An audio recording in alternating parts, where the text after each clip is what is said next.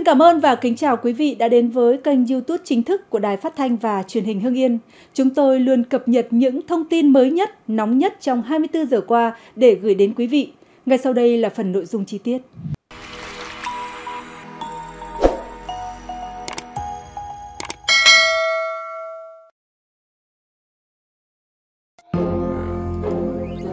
Cảnh báo về trò chơi bắt pen trên TikTok vô cùng nguy hiểm, có thể dẫn tới tử vong. Hiện nay bắt pen là trào lưu đang thịnh hành trên mạng xã hội TikTok trong những ngày gần đây, đặc biệt là với giới trẻ. Khi tham gia trò chơi này, một người sẽ thực hiện việc ấn mạnh vào hai bên mạch máu cổ của người khác để tìm kiếm cảm giác lâng lâng hoặc phê pha giả tạo. Nó thu hút khá nhiều bạn trẻ tham gia vì cảm giác đó. Trong nhiều clip được đăng tải trên mạng xã hội, sau một thời gian ngắn, người bị bắt pen sẽ có tình trạng không tỉnh táo, thậm chí ngất xỉu, khiến cho người xung quanh phải lay, tát vào mặt để trở lại trạng thái bình thường. Vậy tại sao trào lưu này lại thu hút giới trẻ như vậy? Nguyên nhân của trào lưu bắt pen là nhiều người, đặc biệt là giới trẻ, thường muốn thử nghiệm những cảm giác mạnh mẽ và khác biệt. Tuy nhiên, cảm giác thích thú chỉ diễn ra trong mấy giây, nhưng hậu quả của nó vô cùng nguy hiểm, không thể lường trước được. Theo ngành y tế cho biết, trào lưu bắt pen có thể gây ra tình trạng thiếu máu não. Khi thực hiện ấn vào hai động mạch cảnh vài giây sẽ không gây nguy hiểm, nhưng nếu ấn lâu thì có thể gây ra thiếu máu não trầm trọng. Khi máu không được cung cấp đủ cho não, có thể dẫn đến chóng mặt, ngất xỉu hoặc thậm chí là tổn thương não. Nguy hiểm hơn, các tế bào não bị thiếu máu 5 phút sẽ không thể phục hồi. Trào lưu này cũng có thể gây ngưng tim bởi hành động bắt pen có thể kích thích một số phản xạ trong cơ thể dẫn đến ngưng tim đột ngột. Ngoài ra, việc tạo áp lực mạnh lên cổ có thể gây chấn thương cho các cấu trúc xung quanh, bao gồm dây thần kinh và mạch máu và các tổ chức mô mềm xung quanh của người chơi.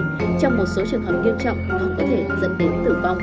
Các chuyên gia khuyến cáo khi tham gia hưởng ứng các trào lưu trên mạng xã hội, mọi người cần tỉnh táo, tìm hiểu kỹ tác hại của nó và đặt sự an toàn của bản thân lên trên hết.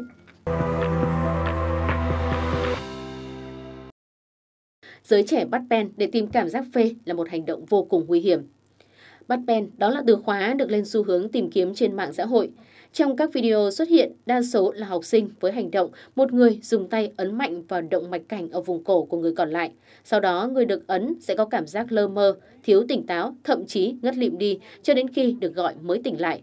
Theo Phó Giáo sư, Tiến sĩ, Bác sĩ Nguyễn Huy Thắng, trưởng khoa bệnh lý mạch máu não, Bệnh viện Nhân dân 115, thành phố Hồ Chí Minh cảnh báo, trào lưu bắt pen trên mạng xã hội không phải là trò chơi để có thể mạo hiểm thử tìm cảm giác.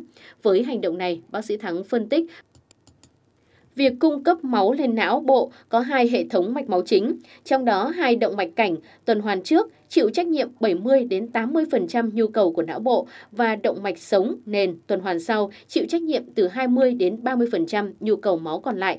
Các hệ thống mạch máu phía trước và sau và hai bên được liên kết với nhau qua đa giác Willis giống như là vòng xoay giao thông nhằm đảm bảo nhu cầu máu lên não luôn ổn định khi một bên bị sự cố. Bên cạnh đó, tại hai động mạch cảnh trong đoạn cổ còn có xoang cảnh có tác động điều chỉnh nhịp tim và huyết áp, bác sĩ Thắng phân tích kỹ. Bác sĩ cũng cảnh báo việc dùng tay ấn vào cổ để ép động mạch cảnh trong hai bên chỉ để tìm cảm giác phê bị lịm đi, mất ý thức trong một ít phút giây là những hành động cực kỳ nguy hiểm bởi ép chặt hai bên động mạch cảnh sẽ gây giảm tưới máu lên não nghiêm trọng do chịu trách nhiệm 70 đến 80% lượng máu lên não. Nếu bỏ tay nhanh sẽ gây chóng mặt, ngất, mất ý thức thoáng qua. Trường hợp nếu ép quá lâu có thể gây đột quỵ do thiếu máu, đặc biệt khi đã có sẵn tình trạng tắc hẹp mạch máu trước đó nhưng không hề biết hoặc cũng có thể gây ra tổn thương não do hội chứng tăng tái tưới máu. Đặc biệt là việc ép cổ gây kích thích xoang cảnh có thể làm chậm nhịp tim, thậm chí đó là ngưng tim, như phần trước chúng tôi đã thông tin. Trước đó, tôi cũng đã gặp một trường hợp là một phụ nữ trẻ nhập viện vì yếu nửa người, khảo sát mạch máu cho thấy hình ảnh bóc tách động mạch cảnh trong.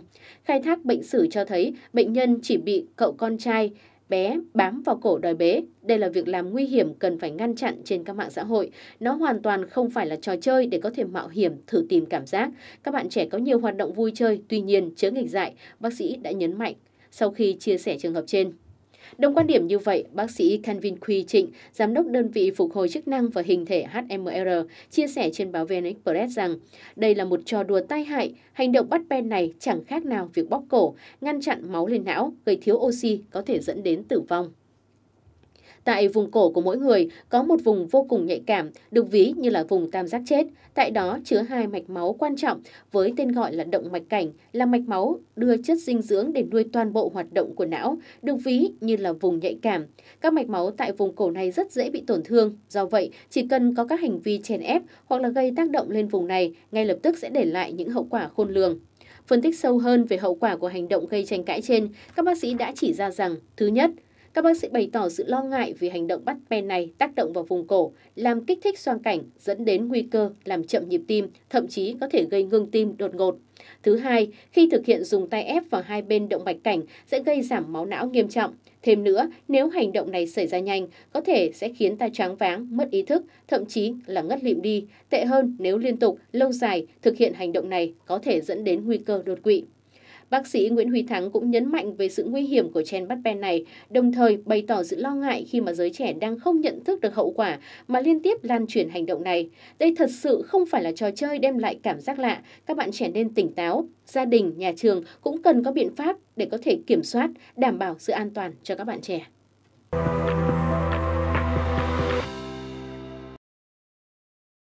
Rộ trào lưu bắt pen ở giới trẻ và ngành y tế cảnh báo nguy hiểm có thể gây tử vong. Bất kỳ trào lưu nào xuất hiện trên mạng xã hội cũng thu hút được đông đảo người thực hiện, tuy nhiên không phải trào lưu nào cũng an toàn cho sức khỏe cũng như tính mạng của những người tham gia. Trào lưu bắt pen cũng như vậy. Chúng ta có thể thấy những điều đó thông qua những phân tích ở phần trên của video. Và mặc dù một số video thì có đưa ra khuyến cáo không được thử tại nhà với mọi hình thức, thì cũng chưa đủ để những người có tính tò mò dừng lại, đặc biệt là giới trẻ khi mà chưa có những sự nhận thức đầy đủ về sự nguy hiểm và sự bình tĩnh khi mà nhìn nhận sự việc. Chính vì điều này mà trò bắt pen ngày càng lan rộng, càng nhiều người không đủ kiến thức thực hiện thì số người gặp nguy hiểm càng tăng. Theo các chuyên gia y tế, trả lưu bắt pen là việc làm rất nguy hiểm, cần phải ngăn chặn trên mạng xã hội vì tiềm ẩn nhiều nguy cơ sức khỏe nghiêm trọng. Bản chất của hành động này là chặn động mạch cảnh hai bên gây thiếu máu não, gây tắc nghẽn mạch cảnh hai bên tạo cảm giác lâng lâng, gây phê giả. Chia sẻ trên trang Đời sống và Pháp luật, thạc sĩ bác sĩ Đoàn Dư Mạnh, thành viên của Hội Bệnh Mạch Máu Việt Nam khẳng định đây là một trào lưu cực kỳ nguy hiểm tới tính mạng, có thể gây tử vong nhanh chóng. Mọi người tuyệt đối không nên thử. Theo bác sĩ Mạnh, hành động bắt pen dùng tay ép mạch có thể gây tắc mạch máu. Mạch máu rất mềm, chỉ cần tìm đúng mạch và dùng tay ấn nhẹ thì máu sẽ ngừng lưu thông. Trong cấp cứu, trường hợp bị chảy máu, khi nhấn đúng vào mạch, mạch cũng sẽ ngừng chảy.